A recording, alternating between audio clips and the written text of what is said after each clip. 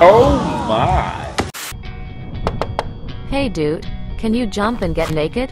Yes, just like that. And what if I give you $100? Don't be shy. Just take your pants off. Nice decision, good boy.